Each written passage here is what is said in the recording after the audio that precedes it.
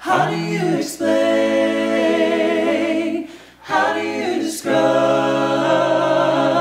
a love that goes from east to west and runs as deep as it is wide? You know all our hopes, Lord, you know all our fears, and words cannot express the love we feel, but we long for you to hear. So listen to our hearts, hear our spirit sing, a song of praise of praise from those you have redeemed.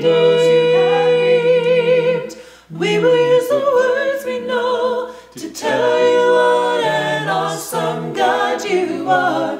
But words are not enough to tell you of our love. So listen to our hearts. If words could fall like rain from these lips of mine, and if I had a thousand years, Lord, I would still run out of time. If you listen to my heart, every beat will say, Thank you for the life, thank you for the truth, thank you for the way. So listen to our heart, Lord, please listen. Hear our spirit sing, a song of praise, a song of praise from those you have redeemed. We will use the words we know to tell you what an awesome God you are. But words are not enough to tell you of our love. So listen to our hearts. So listen to hearts. Lord. Hear our spirit sing. A song of praise, a of praise from those you have redeemed. We will use the words we know to tell you what an awesome God you are. But words are not enough to tell you of our love. So listen to our hearts. We will use the words we know to tell you what an awesome God you are. But words are not enough to tell you of our love. So listen to our hearts. Good morning. Welcome to Southwest. Sorry we're not here to shake your hand. Have a great day. Love Miss you, miss you. Hello, Southwest. I hope we can meet together soon. We love you. I sure miss everybody. Hey Southwest, uh, just let you know that we sure miss being with all you guys, and we also want you to know to stay safe. God bless you. Hello, guys. It's Don and Linda, we miss you very much. And we, our prayers are with you, and may, may bless all of us to get back together soon. We love, Love you you. guys. Miss you. We miss you so much. We miss you, church family. We miss all of your beautiful faces. See you soon. Bye. Hey guys, I miss everybody so much. I can hardly wait to get back together. Can't wait to be with our Southwest family again. We miss you guys a lot. Love you. Love you. Hugs. Hi, everybody. We miss you. Miss y'all. Miss y'all.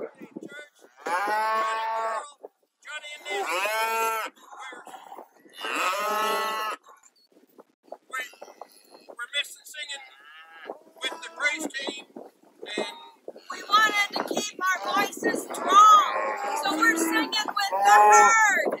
Uh, uh. I just want to say congratulations to the graduates of our church, and I just pray that you will soar like the balloon.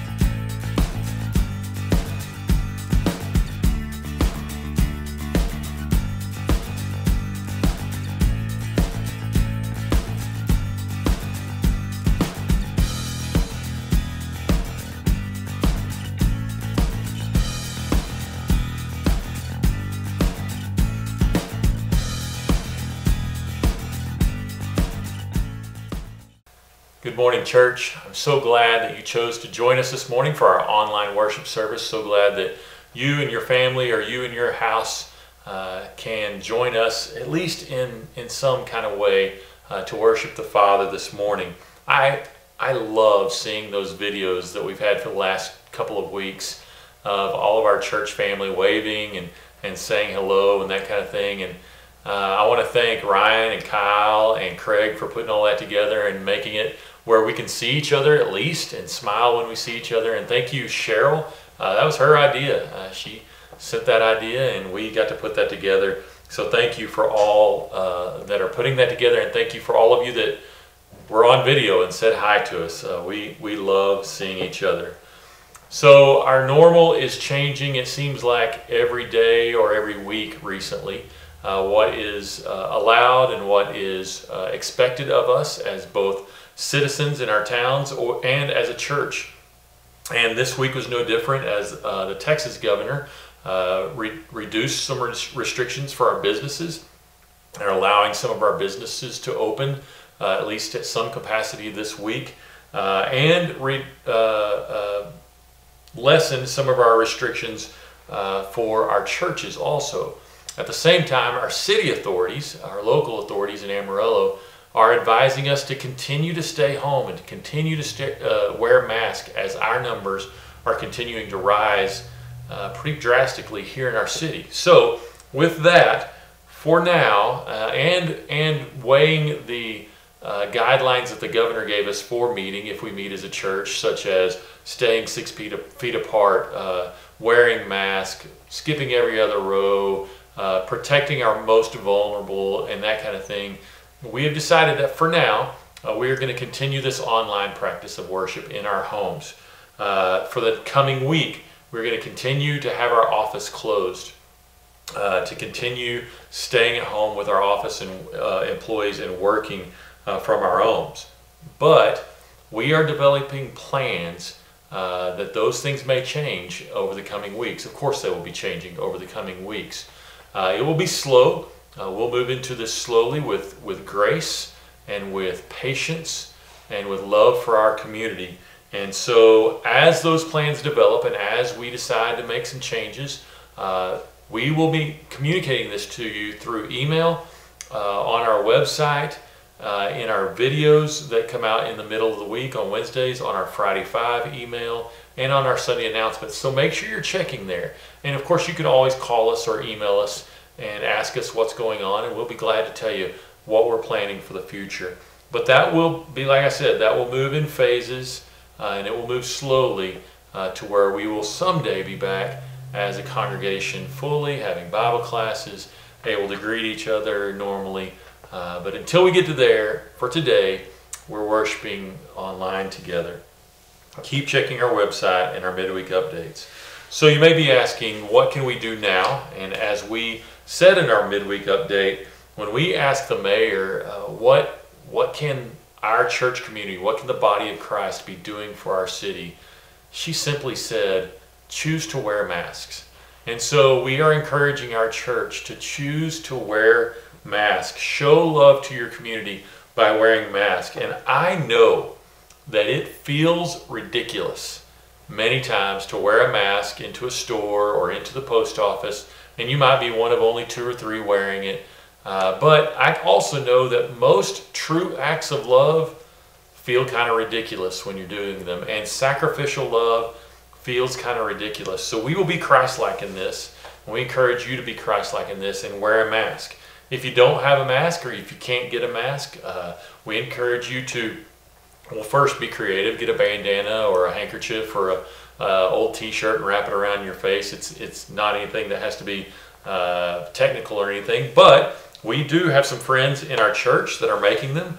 Uh, you can email us at churchmail at southwest.org and we'll see if we can get one to help you. So uh, a couple things. One of our, our makers, Donna, she's made, she's made, she's told me she made over 149 uh, masks already and she's given all of those out, uh, but a few so far. But she is telling us that she is in need of quarter inch elastic and iron on Pellon.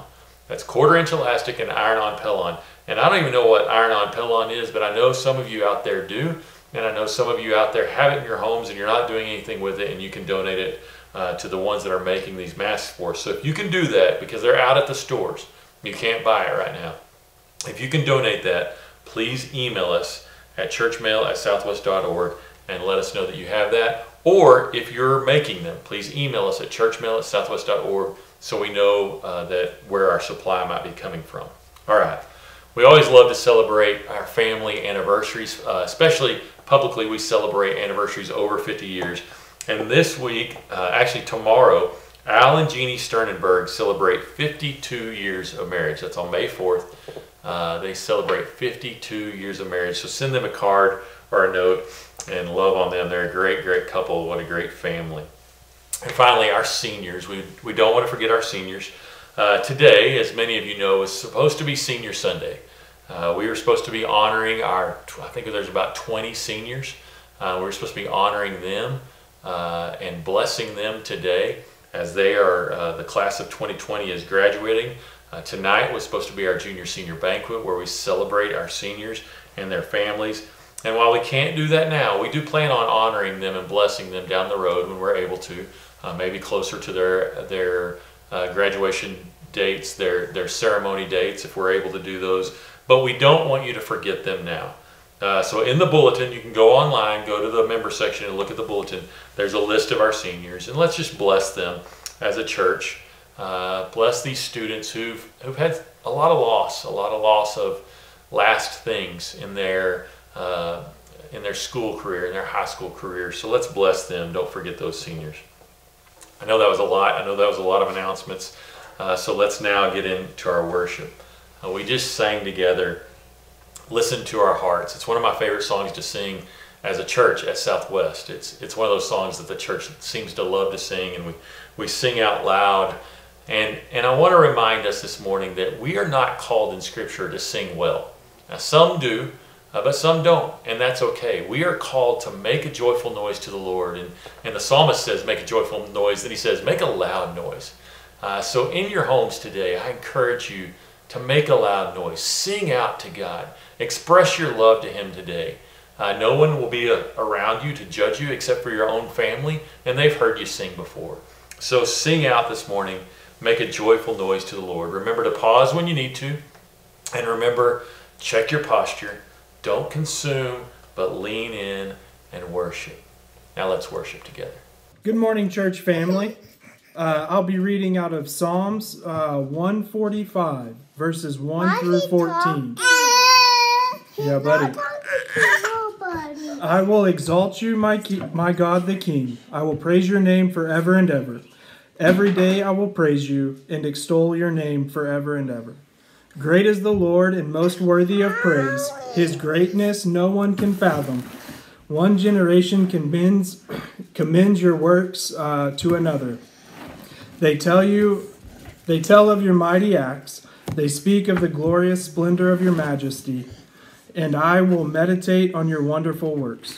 They tell of the power of your awesome works, and I will proclaim your great deeds. They celebrate your abundant goodness and joyfully sing of your righteousness. The Lord is gracious and compassionate, slow to anger and rich in love. The Lord is good to all. He has compassion on all he has made. All your works praise you, Lord. Your faithful people extol you. They tell of the glory of your kingdom and speak of your might, so that all people may know of your mighty acts and the glorious splendor of your kingdom. Your kingdom is an everlasting kingdom, and your, domin- uh, and your dominion endures through all generations. The Lord is trustworthy in all he promises, and faithful in all he does. The Lord upholds all who fall, and lifts up all and lifts up all who are bowed down. I will call upon the Lord. I will call upon the Lord. Who is worthy to be praised. Who is worthy to be praised? So shall I be saved So from my shall I enemies. be saved from my enemies. The Lord liveth, and blessed be the rock, and let the God of my salvation be exalted. The Lord liveth, the rock and let the God of my salvation be exalted.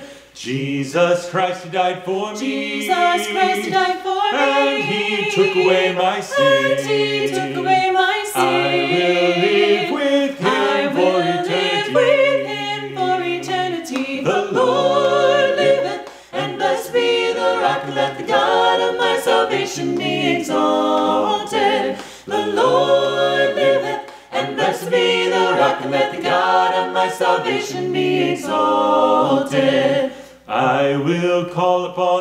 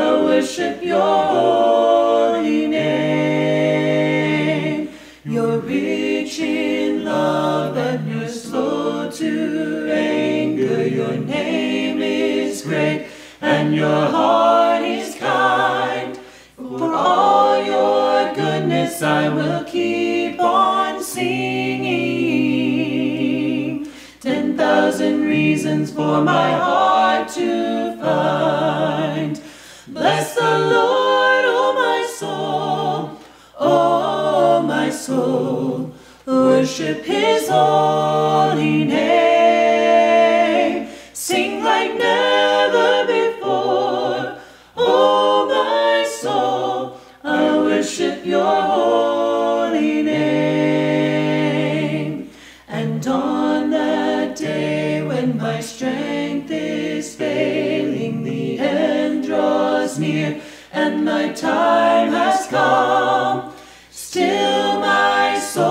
sing your praise unending.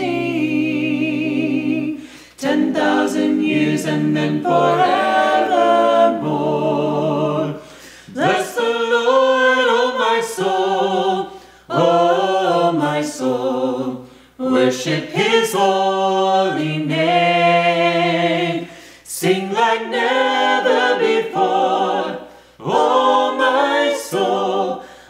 Worship Your holy name. Bless the Lord, O my soul, O my soul. Worship His holy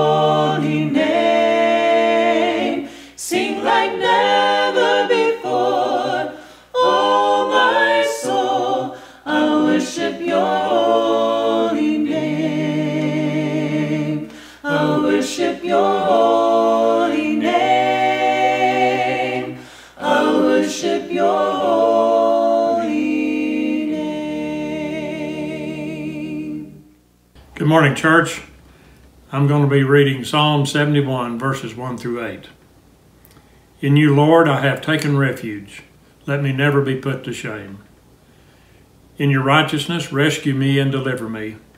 Turn your ear to me and save me. Be my rock of refuge to which I can always go. Give the command to save me, for you are my rock and my fortress. Deliver me, my God, from the hand of the wicked, from the grasp of those who are evil and cruel. For you have been my hope, sovereign Lord, my confidence since my youth. From birth I have relied on you. You brought me forth from my mother's womb. I will ever praise you. I have become a sign to many. You are my strong refuge. My mouth is filled with your praise, declaring your splendor all day long.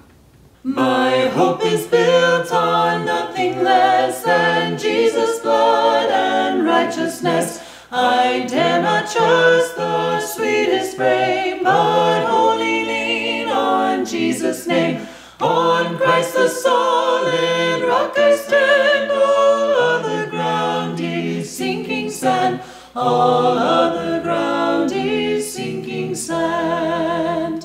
When darkness veils his lovely face, I rest on his unchanging grace. In every high and stormy vale, my anchor holds within the veil.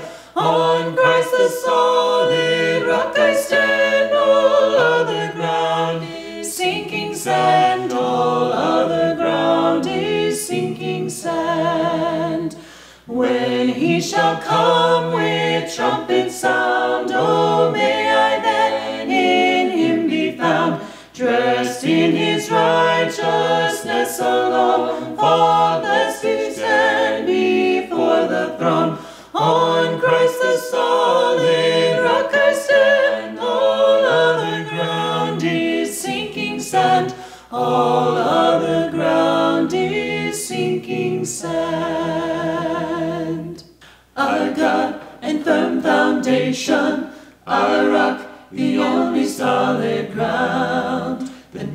nations rise and fall, kingdoms once strong now shaken. We trust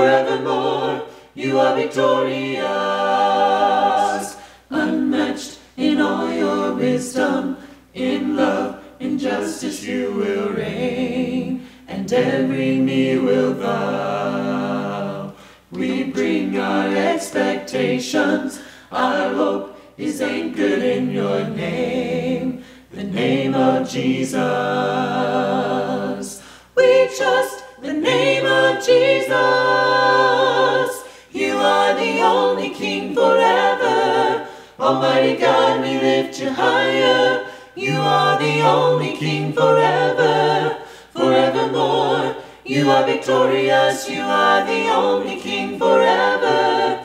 Almighty God, we lift you higher.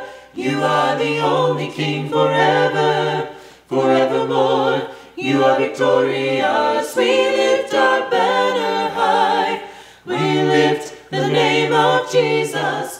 From age to age you reign. Your kingdom has no end. We lift our banner high. We lift the name of Jesus. From age to age you reign. Your kingdom has no end. You are the only King forever. Almighty God, we lift you higher. You are the only King forever, forevermore. You are victorious. You are the only King forever. Almighty God, we lift you higher. You are the only King forever, forevermore. You are victorious. Good morning, church. We're the Scotts, and this morning Trey is going to read Matthew 6 25 through 34. Therefore I tell you, do not worry about your life, what you will eat or drink, or about your body, what will you wear? Is not life more than food, and the body more than clothes? Look at the birds of the air.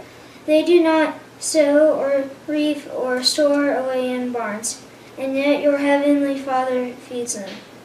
Are you not much more valuable than they? Can any one of you, by worrying, add a single hour to your life? And why do you worry about clothes? See how the flowers in the field grow. They do not labor or spin. Yet I tell you that not even Solomon in all his splendor was dressed like one of these. If that is how God clothes the grass of the field, which is here today and tomorrow is thrown into fire, will He not much more clothe you?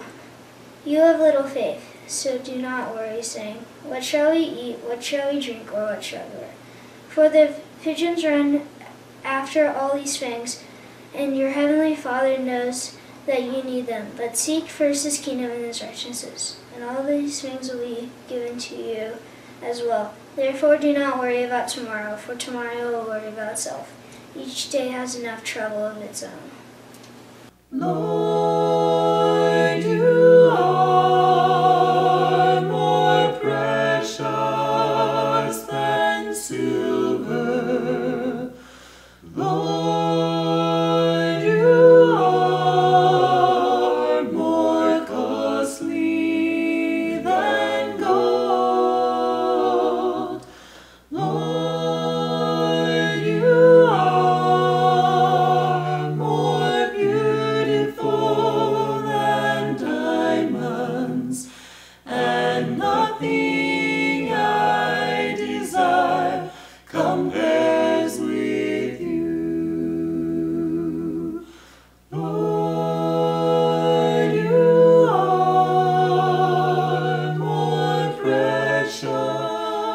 than silver.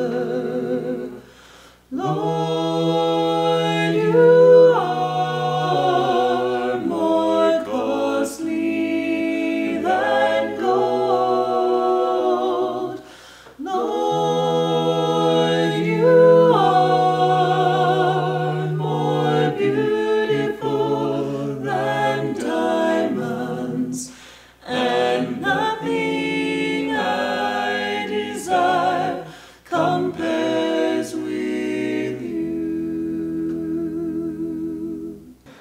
church family, and good morning. In modern culture, we often see masses of people, sometimes paying outrageous sums of money, full of excitement and jubilance to see sporting events, concerts, world renowned speakers, popes, the Dalai Lamas, prime ministers, and even presidents. And I begin to wonder do we have the same excitement and desire to be in the presence of our King? And if not, why? So I want to give our hearts a direction for our worship and particularly this time of remembrance. Let's talk about kingdom for a moment. It is one of the great Bible themes. From King David to King Herod, from the curious story of King Melchizedek in Genesis to the final story of the King of Kings in Revelation. The entire Bible is a story of kings and kingdoms. Now, many of those kingdoms have come and gone, but there is one kingdom that will stand forever and ever. Ultimately, the Bible is a story of God's kingdom. And this is the gospel, the good news. In Mark 1, verse 15, Jesus says, The time has come, he said. The kingdom of God has come near. Repent and believe the good news. Matthew, in his gospel, chapter 4, verse 23, tells us that Jesus went throughout Galilee, teaching in their synagogues, proclaiming the good news of the kingdom. And in Luke 4:43, Jesus said, I must proclaim the good news of the kingdom of God to the other towns also, because that is why I was sent. But one of the prerequisites of having a kingdom, even the kingdom of God, is that there must be a king. If you're following along in our 2020 Bible Project, we have been reading about the rise and fall of the early kings in Jewish and our history. King Saul and now King David, who has just risen to serve as king over united Israel. But we now have an eternal king who has risen to an eternal throne, and he has not or will not fall.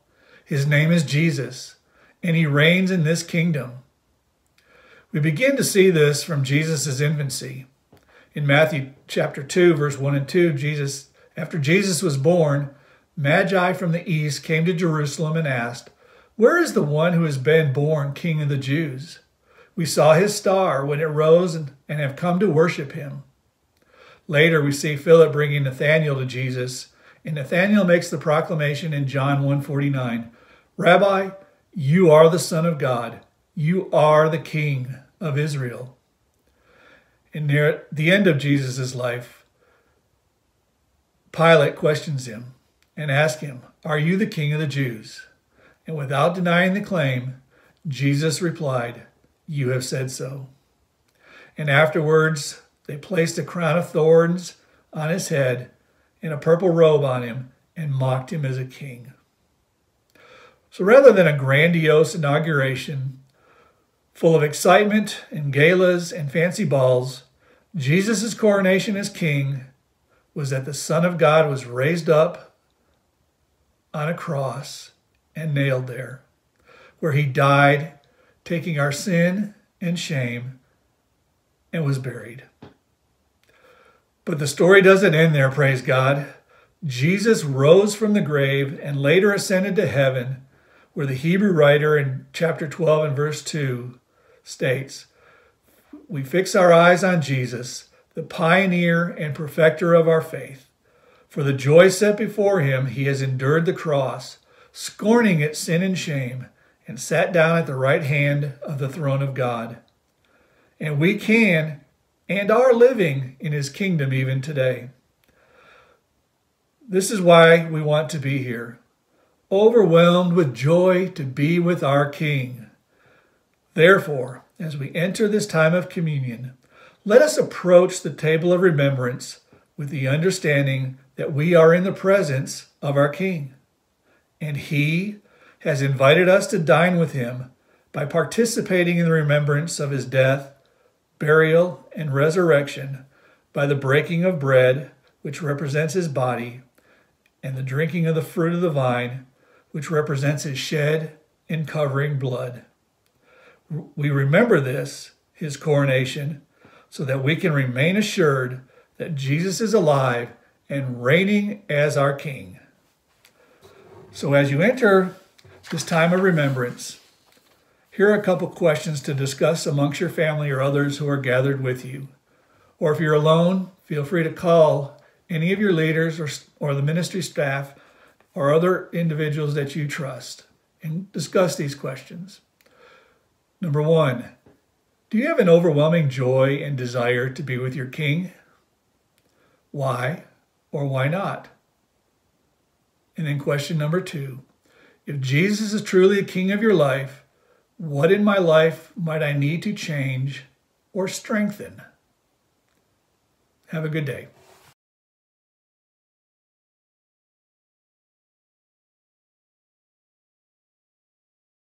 Precious cornerstone, sure foundation, you are faithful to the end. We are waiting on you, Jesus. We believe you're all to us.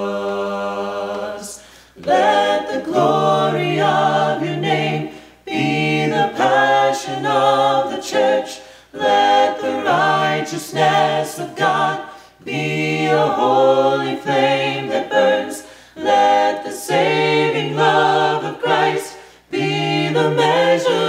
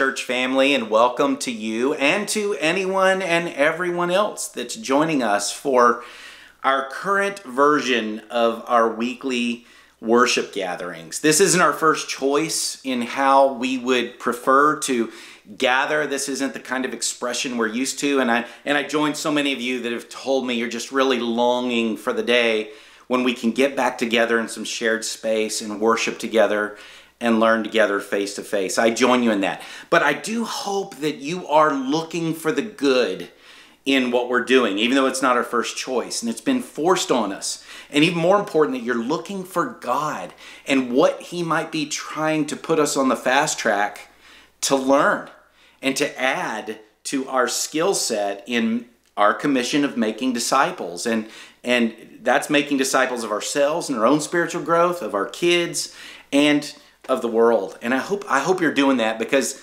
this change, while we didn't choose it, it is forcing us to learn new things. And I hope you're looking for some of those new things that God might be trying to teach us and train us in during this time. For example, I was reminded of Acts chapter 2 and Acts chapter 5. The book of Acts is the record, it's some of our first records of the first church and the description of how they gathered.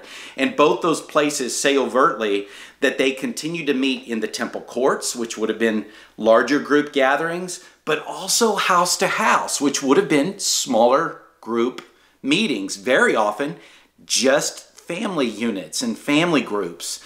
And so we are kind of being forced to learn how to bring worship house to house. Most of us that have grown up Christian in particular, we have a lifetime of being committed to the temple court gathering.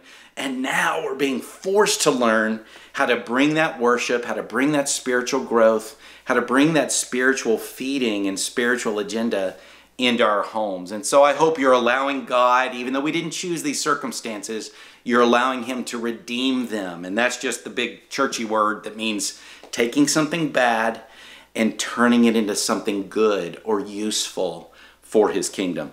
So this past week, we began a brand new book of the Bible as a part of our ongoing Southwest 2020 Bible Project, which is this awesome Bible reading, video watching plan that our church family has been going through together for the year. And any of you can join us at any time. The schedule for that plan, very doable, attainable schedule, is right here on this website. You can find it and you can join us at any time. And speaking of the 2020 Bible Project plan, and speaking of bringing spiritual activity into our homes, our children's minister, Rachel Patterson, she sent me a video this week of something cool that's happening in the Matt and Mitzi Wade household. Okay, so our friends, Matt and Mitzi, they are doing the Bible Project and they're doing it together with their sweet daughter, Maddie, who decided that she wanted to start quizzing her parents on that week's Bible reading, okay? And, and just hold their feet to the fire on whether they're reading or not, I guess. And so uh, Mitzi took a video of one of these times and I called Maddie after I saw it and asked her if I could share it with all of you so that uh, we could all just be encouraged at seeing one picture of how the project can make it into our homes and how spiritual life can make it into our homes. So enjoy this. What did David, David's servants do to, uh, I don't know who that was, the guy. Ashbin? Yeah. Ishbosheth. Yeah, Yeah, Ash- what's, what yeah. did they? They killed him in his bed Yes. and they cut off his head. Yeah. Took the head of David. Yeah, that was disgusting. Yeah, What chapter was that? I think that was chapter four. Yeah. Uh-huh. Are you sure? Yeah. That's all I got. Okay, those were good. What chapter are we in, Maddie? What book? Uh, Saul? Second Uh, Samuel. six, Second six. Samuel. Why did I call Saul? Because we've been Saul's- reading about Saul.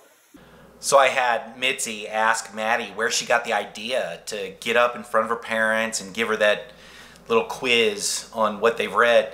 And she said it came from a mixture of pictures in her head of her her school teachers, but get this, also her Bible class teacher that helps her spiritually. And I asked Rachel, and that's Wendy Camp. And so that just, ah, that just made me so grateful for you, Wendy, and all of the women and men that uh, help us uh, just make disciples of our children. And so, while my point in showing you the video primarily was to uh, promote the idea that we need to be spiritually responsible for fueling each other's and, in particular, our children's spiritual growth in our homes, the background story to that still brings to light of how grateful we are and should be for how we help each other when we gather together as family. So, summary while we're not gathering in our large group, yes, it's healthy to miss it and to long for it, but it is also healthy for us to look for God in it, to grow and to learn everything we can from it. Now, before I get into this week's teaching, I wanted to remind you of why we're doing the 2020 Bible Project uh, originally, anyway, especially for those who've joined us later this year and have joined us in this Bible Project. So while it's always, I believe, it's always a good idea to, to read your Bible and to grow in knowledge of what's in there, there are right and wrong ways to do it, literally. Uh, contrary to what we wish was true, the Bible is a complicated book. As an example, the Bible's not even a book, okay? We've learned that the Bible is 66 different books written by over 40 different authors from all different stations and walks of life in three different ancient languages and at least a dozen different genres. Okay, so how you approach Scripture dictates what you will end up leaving Scripture with. So if we want to read the Bible in a way that unlocks what God intends for us to get from it, we need to read it in the way that God intends us to read it. So this last fall, we actually did, as a church family, we did a, a, series on the Bible. Not what's in the Bible like we're doing now, but on the subject of the Bible. We were real creative in titling this series. It's called The Bible. It's real creative. So, anyway, in that series, we explored two questions, okay? We wanted to know what's the stated purpose of the Bible in the Bible? And second, what lenses do we need to use to read the Bible in order to unleash what it intends to unleash on the world, including in us? So, the short answer to those questions is the purpose of the Bible, the whole reason it exists, is to point each of us and the whole world to life in and like Jesus Christ. That's the purpose the Bible was written. So, if you read it for any other purpose, you're misreading it. That's the purpose of Scripture. And so the lenses through which we need to read the Bible to unlock and unleash that purpose are the lenses of love, the lens of wisdom, and the lens of story. Okay, now that's a brief answer on what we're doing here and why we're reading the Bible is to practice reading it with those lenses in service of that purpose. Now, for a more extensive explanation or reminder, I summarized that whole fall series that we did on the Bible in one message that I delivered on November 10th, 2019. And it was entitled The Biblical Way to Read the Bible. Okay, now I'm telling you that because you can find that teaching on this website as well. Under teachings, you can look it up by the date, you can look it up by the series, and you can find it. So, uh, love for you to, to, to review that if you need to, or if this is a new thought to you. I think it might change your life in how you approach Scripture and, um, and align you with what God wants you to have Scripture for. Okay, so this past week, we began a brand new book of the Bible, the book of Second Samuel. Now, you might be interested to know you actually didn't begin a new book, even if you did, because the books of 1st and 2nd Samuel were actually one long story that someone along the way decided it was convenient to divide it into two chunks. And they decided the death of Saul was the where they would end the book of 1 Samuel. So I just thought that was interesting. So the story in these two books record a major transition in the story of God among his people. So the 10,000 foot view is this is the beginning of this transition for the people of God. They're named Israel. So it's a transition from them being this loose knit group of 12 separate tribes that lived in the Holy Land and the transition into a kingdom where they would be unified under the authority of a king. So zoom in a little bit closer, maybe the 5,000 foot view. That transition is told to us through the stories of three main characters the character of Samuel, who's considered the last judge from the book of Judges, and the first prophet who speaks to the nation uh, on behalf of God. Um, so that's Samuel, and it moves to the first king, King Saul, and the second king, which is King David. And that's that's what we're reading now in the book of Second Samuel. So if you zoom in on the second half of First Samuel, it starts recording the ascent of David and the fall of Saul because Saul decided he wanted to serve himself more than he wanted to serve God. And David is identified as this man after God's own heart who will become the, the true king of Israel. So 2 Samuel begins with the continued rise of David to the throne. So if you're current, you know that the chapters we read involves David being crowned by all 12 tribes. David then captures the city of Jerusalem, which will become a central place uh, in the rest of the biblical narrative, and even still is today in a lot of ways. And then uh, he also after he takes over Jerusalem and moves in, it becomes the city of David. But then he goes and gets the Ark of God that's being stored in Shiloh with the remnants of the priesthood of Israel. And he moves them and it into Jerusalem. So the city of David now has become the city of God as well. And then we have some stories that Israel finally has arrived and they get some rest. They get some um, relief from the nations that oppressed them. The first time in their history since they left Egypt in slavery. Uh, this is the first time they've gotten some relief from oppression. And there's some stories of the expansion of the kingdom by King David in his God favored leadership. So, what part to cover this week? I wanted to draw your attention to the contrast between King Saul and King David. Now, I'm doing it for a reason. I counted in between the books of 1st and 2nd Samuel 23 chapters. 23 chapters of scripture are dedicated to this game of thrones that's going on between King Saul and King David. So to compare it, when we get to 1st and 2nd Kings, where we're going from king to king to king in very quick succession, okay, the transitions are noted with one or two verses typically, okay? No detail. But in this transition from Saul to David, 23 chapters, that's, that's more than, than the average of, of the whole story of Jesus in the four Gospels. I think they average 22 chapters each. And so this is a lot of scripture. Why is that? It's almost like the narrative wants us to see the difference between Saul and David. Why it was so important for Saul to go out and for David to come in. There are dozens of stories and overt commentary explaining the difference. So uh, that, there's a bunch in First Samuel. I'd love to cover like um, how Saul tried to kill David inappropriately, right? Many times he was looking for opportunities to kill him to maintain power. Compare that, David had the opportunity to probably justifiably kill Saul, who was trying to kill him, and take the power that God had already granted him, but he wouldn't. So there's a contrast there.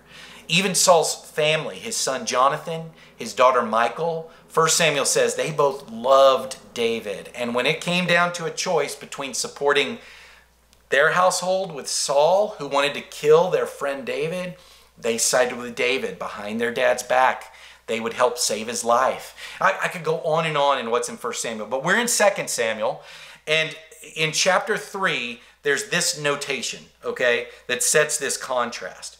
It says, The war between the house of Saul and the house of David lasted a long time. David grew stronger and stronger, while the house of Saul grew weaker and weaker. Now, you might, if, if you're keeping up, you might ask the question how in chapter 3 of 2 Samuel is the house of Saul and the house of David still at war? Saul's been dead for three chapters. How is it? Well, Saul's cousin, Abner, who I haven't mentioned to you yet, but you've read about him, he was this strong and mighty leader. Saul's cousin, but he was also his muscle and his right hand man politically. He was also the general of the mighty army of Saul, which was the army of the nation of Israel. And so he held a lot of power. And when Saul died, now you might not have known this, but when Saul died, there were two kings then crowned in Israel. Did you know this? So here's what happened Saul dies, and here was David's approach after Saul dies to what comes next. First, it says uh, in 2 Samuel chapter 2 that I won't read it word for word, it's a little lengthy, but David inquired of God. He inquired of the Lord for what to do next, for where to go next. And then when God told him what to do and where to go, he initiated, he used his initiative and strength by responding to God's will and going. He, specifically told to go to the city of Hebron, okay? Then it says, when he gets there with his family, the people of Judah, that's one of the tribes, one of the 12 tribes of Israel, the tribe of Judah, which is David's tribe, they come to Hebron and they anoint David king.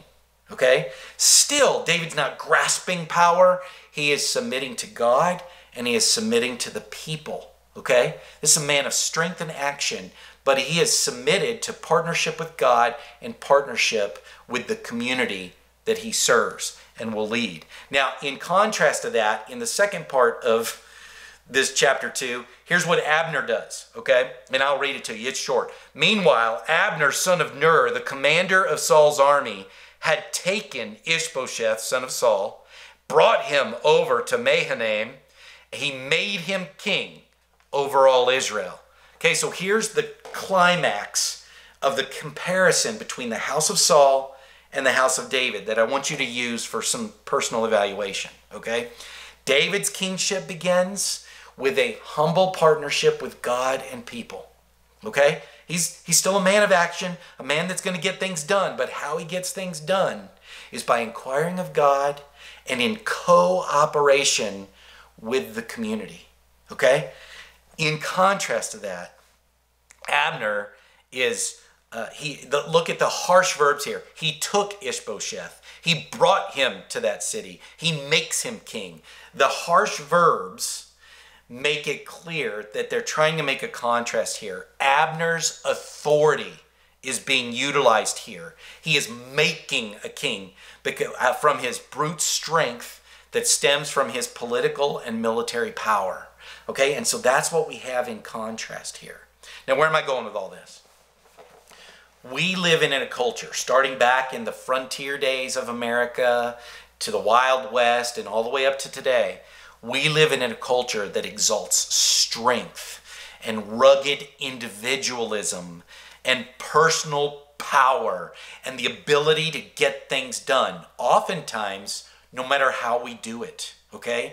Like a person who gets things done, typically, we see as an individually strong person who has learned how to manipulate or be an authoritarian and make things happen from a position of strength, worldly strength. And that's a pretty good description of the household of Saul that's being painted in Scripture. The culture we're in is, is what's being painted by the culture of the household of Saul. So, as Christians, we're not to act like that, right? We're supposed to stand in contrast and, like a light on a hill, we're supposed to shine in the culture that we live in.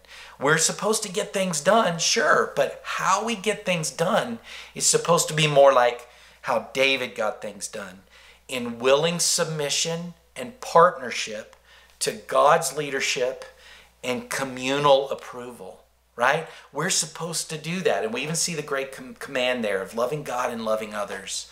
How we get things done is a lot different than what's exalted in our world. So, with that contrast, I want to leave you with an assignment and a question to do together in your household, okay? Remember how all scripture points to Jesus? Well, I have a verse for you. It's in Matthew 20, verses 25 through 28. I want you to go there and I want you to read that together so we've been studying today um, David and his way being exalted in contrast to Saul's way. Well, here, Jesus is overtly, Jesus, by the way, is called the son of David, okay? He's the son of this story that this is pointing forward to, which is really interesting. Matthew mentions him as the son of David 10 times, and he's mentioned as the son of God only eight times. Okay, so this title and this connection to the story is very cool, but that's for another time. Uh, so I want you to read this those verses where Jesus is talking to his disciples about the culture they live in and how they're not supposed to be like that. They're supposed to operate differently. So I want you to read that and I want you to discuss that, both in how it relates to the story we looked at in David's time and against Saul and how it relates to the culture we live in now and how we're supposed to live as Christians. Then I want you to discuss just very honestly and transparently which way do you find yourself operating? Which way do you find yourself operating? More in the typical brute strength, kind of push it through, do it through your own strength way, getting things done, and or in a more submissive to God and in cooperation with the people around. I want you to talk about that, how you're doing in your household, which is really important right now. Okay, while we're confined to our households, how are you operating? This could really improve that if we submit to it. But not just there, in your classrooms, in your workplace, in all of the places where you get things done. Do you operate more like the household of David or more like the household of Saul? Now, may the Holy Spirit come into your rooms. May he come among you and work through you and shape you to, to transition you just like we're reading here in Scripture, let Him transition you from the house of Saul and its ways to the house of David and God's ways. In our lingo, may God's Holy Spirit make you more like Christ. I love you. God bless you.